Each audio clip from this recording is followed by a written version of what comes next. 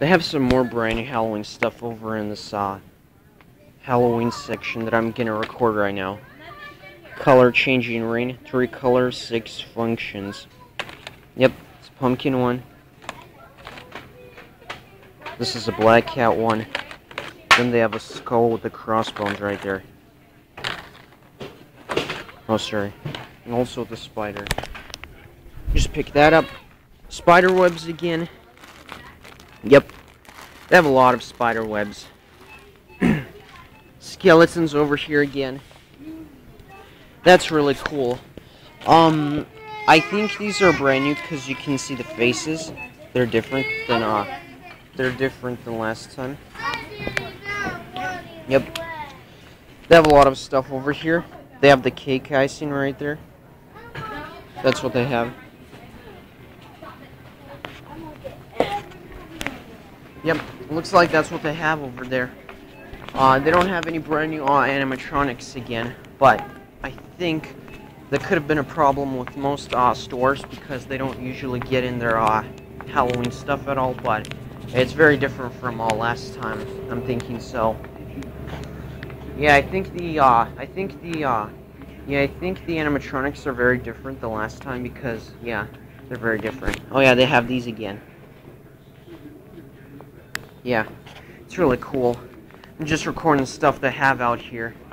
Uh, it's not really like they have a lot of the Halloween stuff out here. They used to have some better ones back then, but I don't think they uh, have those anymore. They probably must have sold out of those. Again, if you're just looking for something for Halloween, I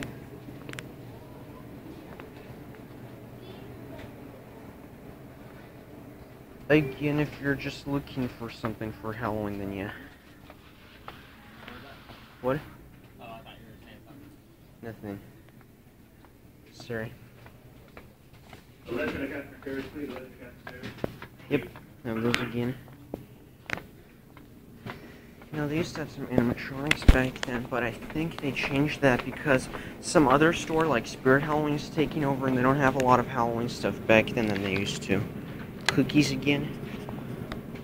Really nice cookies. I really like that they're like, that they have the Halloween colors on them. Very nice. Um, I think the main reason why, or I'm thinking why they don't have them this year, is because uh, a store called uh, Spirit Halloween is taking over the Halloween business, and I think what they're doing is they're actually um getting in some bigger um and giant animatronics this year.